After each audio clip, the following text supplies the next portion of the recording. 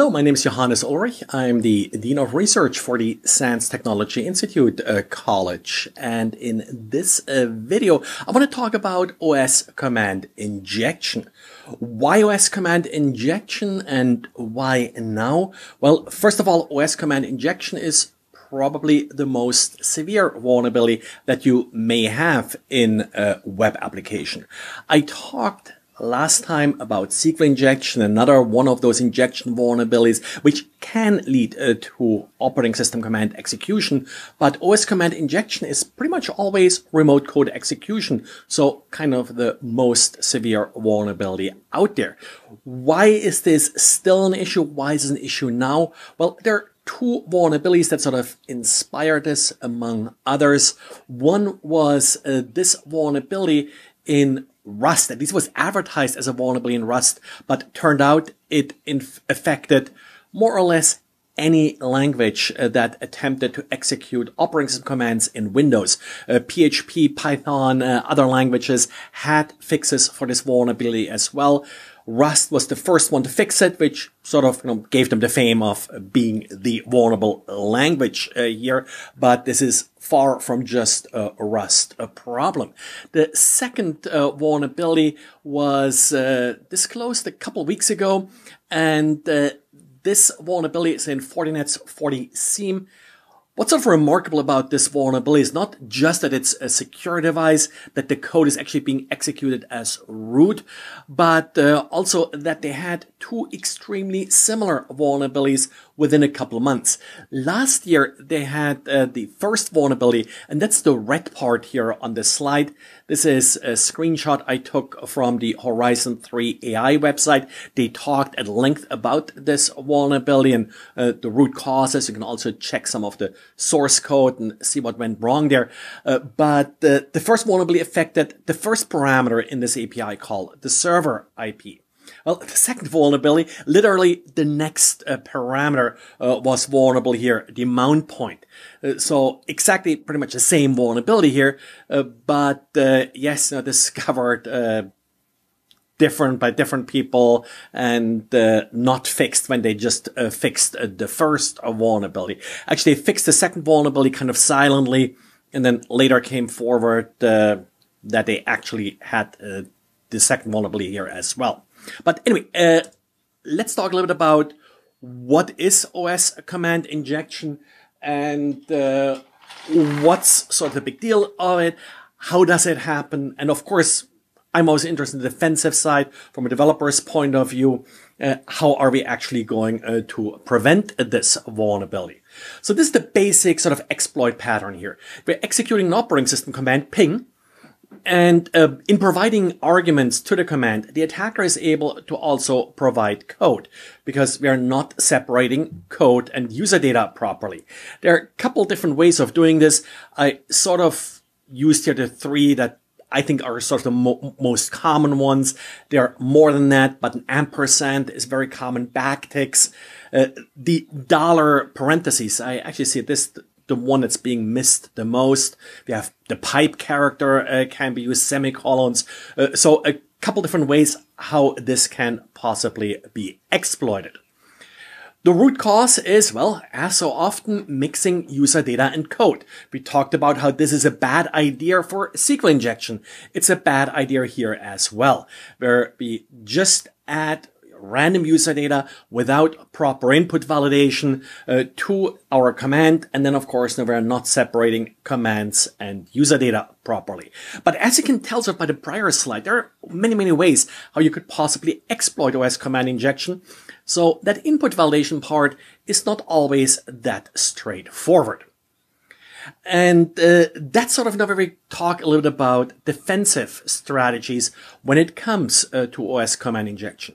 Now, the first thing that you should always look for is, do I actually have to execute an operating system command? So, for example, if you do want to ping an IP address or a host name, well, uh, there is a PyPing module that you can use.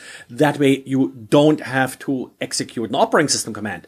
I haven't looked at the source code of PyPing yet, if it sort of crafts the ICMP or if it itself uh, then uh, calls the ping command, but let's hope they're doing it correctly. And remember, now IP addresses are relatively straightforward to validate. When you're talking, looking at host names, uh, it gets a little bit more tricky. And uh, that's then often you know, where the mistakes are being made.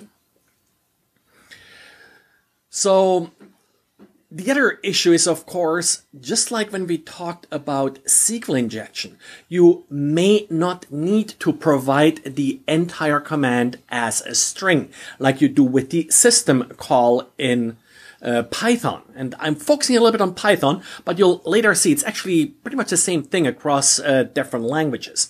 Python instead has this sub-process uh, module, and it allows you to pass the parameters as a list uh, to ping. And there are a couple different uh, functions, methods that you have within a sub-process uh, to execute commands. But that's the basic principle you're looking for here. You're no longer mixing data and code, but you're doing something similar like what you did with uh, SQL injection when you parameterize the query. You're passing the command and the arguments separately to the operating system. And that way, the particular libraries that you're using can take care of uh, the actual cleanup and uh, escaping or input validation or whatever they're doing to prevent operating system command injection.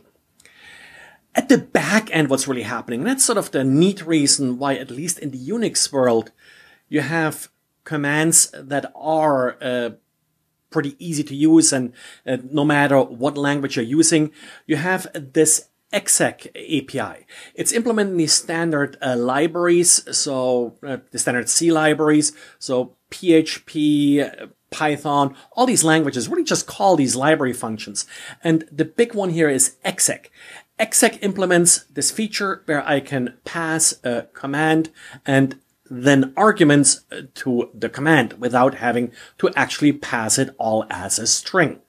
There are a couple different variations uh, of this command depending on whether or not you sort of use the arguments or uh, the, the, environment or whether or not you're passing like a path where, where you're searching for commands. But the basic principle here is if you're doing exec, you're actually passing the command and the arguments separately uh, from each other, which protects you from OS command injection. Now there's one sort of disadvantage when it comes to exec. What exec does is unlike the sort of a little bit simpler system, exec will start the new process that you're trying to execute and re replace the current process with a new process. So actually, the calling program will exit. That's not always what you want. Sometimes you want to wait for a response to come back, which means that you have to include the exec in a fork. You first have to fork to start a new process, then you call exec. In Python, we do have this sub-process uh, module, which actually takes care of that for us. You can still do fork and exec. You still have that ability if you want more sort of fine-grained control over how this exactly happens. But sub-process kind of abstracts that a little bit, makes that a little bit easier uh, to use than calling exec inside a fork. So that's really what you want to do. Use exec. And uh, that way, command injection kind of goes away. Now, if you, for whatever reason, you don't want to use exec, uh, maybe, you know, because of that uh, process replacement issue, like I said, subprocess takes care of that. Well, uh, different languages give you different commands to actually escape command parameters correctly. In PHP, you have this escape shell argument, escape shell command commands. In Python, you have shlex module. That's the current one that you should be using. There's an older one, the pipes module, and they have functions that allow you to do proper escaping. And there are a number of different uh, functions they offer. So, you know, pick the one that you need for your particular uh, purpose if you decide to go this route. The other thing, of course, you can do is, again, going back to not actually executing operating system commands. If you do have to execute operating system commands, make sure the parameters are easy to validate. I told you earlier how, you know, host names can be a little bit tricky uh, to, uh, to validate. I actually had an OS command injection uh, vulnerability in some code uh, back when I was young and stupid, where I actually passed an, an entire address on the command line. And you know a mailing address. And uh, mailing addresses are you know, notoriously difficult to validate because characters like ampersand semicolons uh, may show, show, up legitimately in a mailing address that a user entered. And um, that's actually how i figured out that i did it wrong is that the script failed at an address where someone i believe it was a semicolon had entered a semicolon uh, in their address well, uh, the way I solved this particular problem was where I passed just a number instead of the address, and the number basically was the name of a file. And then the actual address was written to the file, and then I could open the file, read the address, and in that particular create, uh, case, create like a PDF uh, with a mailing address label.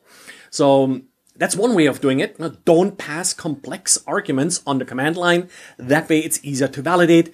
If you still need more complex data types, then maybe base64 encode them, or maybe hexadecimal. Mm, that way, you know, if you have the address, you base64 encode it, uh, that makes it sort of safe on the command line. You still have the pluses and the slashes potentially here, uh, but um, uh, not really exploitable anymore as an OS command injection. You no longer have spaces, no longer have semicolons, you no longer have ampersands and other uh, dangerous characters. Again, this requires that you're able to actually modify the code or better, you know, as you design the system, you sort of put these requirements in to make it easier to validate. Even if you're using some of these safer methods like exec, I would still recommend you know, make it easy to validate. You know, defense in depth. Don't just rely on one measure to fix all the vulnerabilities. And then, of course, you'll always be ready for something to go wrong. And that's, you know, where you do want to reduce the permissions of whatever script is being executed.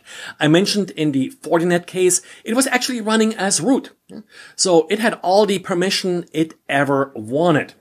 And uh, that, of course, now makes this vulnerability a lot more severe but not that it would be a ton less severe if it would run as a lesser user. You're basically just one privilege escalation vulnerability away from actually becoming a root. But the lower the privileges of the process being executed, of course, the lower the risk. And let me just give you here uh, one complex example and one reason why systems like uh, FortiGate and such and uh, these IoT devices, routers and such, when they do have these vulnerabilities, their web servers are often running as root administrator with, with, elevated privileges is that they do need to adjust things like firewall rules. So the web application may need to run that iptables command. And then, of course, um, uh, you typically that's easiest done uh, as root. So that's sort of why they do it. And then you may end up with some more complex parameters, like the address here may also be a host name. The protocol, you may not just accept the protocol number, uh, but you also may want to have like UDP and TCP and ICMP. So the strings even work for some of the service names. You may not just want to 80, but HTTP uh, or domain instead of uh, 53. So uh, that makes things uh, more complex when it comes to input validation. So let's take a look at, you know, how could we do this particular example a little bit more secure? So let's first look at, you know, validating the IP address. If it's an IPv4 or v6 address, I'm a huge fan of these INET uh, functions. Now, you have to load the appropriate module, uh, but the reason I like them is, again, they're linked to one of these basic system libraries. Uh, the socket library, you know, is implementing all these INET functions. You're typically also using the socket library then to connect to these IP addresses if you ever need to connect to it. And uh, that way, you're removing some of the ambiguities of uh, an input validation library interpreting IP addresses differently than the socket library does. By using the socket library for input validation and to set up the connection, you avoid these ambiguities. There are some famous things like uh, IP address in Octal and such with socket accepts, uh, but some of uh, the input validation libraries uh, did not necessarily uh, deal with correctly. So this is of a little code here. You have this inet python uh, function, which basically converts uh, the address into a binary. Uh, I don't want to call it a string, uh, but um, it works for IPv6, it works for IPv4, and if that fails, you know you don't have a valid address. So that's why we basically use these exceptions here uh, to detect a failure. Uh, there are other ways to do that, but um, that's sort of one way, you know, how I prefer to do input validation. When you're doing host names, you could just try to resolve the host name. Now, that's a little bit tricky. Sometimes the host name doesn't have to be resolvable or it's not resolvable at the time you enter it. Uh, so this may or may not work for you. And this gives you an error if the host name is syntactically correct, in, incorrect, or if it doesn't resolve. So uh, that makes it a little bit tricky if this does not work for you, if you do need to validate host names that are not resolvable, uh, then of course you can look for any other Python modules where someone has thought about it or use a regular expression. Before you go the regular expression route, do a quick Google search for how to validate a host name and just be amazed at all the discussions that evolve around, you know, what can and cannot happen in a host name. Uh, these regular expressions get tricky if you are really trying to be careful as to what's a valid host name, what's not a valid host name. Of course, if you're just uh, concerned about OS command injection, then you know things like, for example, the length of uh, the host name or the length of individual labels inside the host name may not be such a big issue, or you know if they can start with a number or not, or with a dash. But um, it's still you know try to do it right. Try to do the regular expression if you go that route uh, right to properly validate the host name. The other thing, of course, you can do is privilege separation, where you limit the privileges that a particular uh, part of your software has. And there are a couple ways to do this. Uh, of course, you have sort of change root. That's sort of the uh, good old way of uh, limiting what a particular script has access to. In Linux, uh, you also have capabilities. I, I find this is an, an option that's often overlooked. Instead of just running something as root, you can assign it certain privileges that uh, with respect to the kernel. Uh, like, for example, uh, to capture packets or, or whatever you needed to do without giving it full root access.